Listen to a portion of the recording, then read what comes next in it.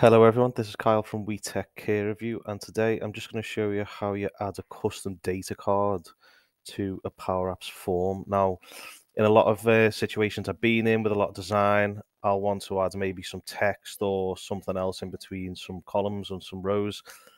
But because all of these data cards are connected to a SharePoint list item, it becomes pretty hard. But what you can actually do is you can just add a custom data card, which is not attached to any SharePoint list item or data source item. And the way you do that is if you just click edit. If you click the form, so you click on the form on the left, which you want to highlight, click edit fields on the right. And here is where you would usually add the fields from your data source. But what you can do is if you just click this little ellipsis here, and then you can click add a custom data mm. card. And there you can see data card one customs being added. So now with that data card, I can put any text, anything else into that, and that's not connected to anything in the data source. Uh, I know this was a quick video, but I hope it helped someone.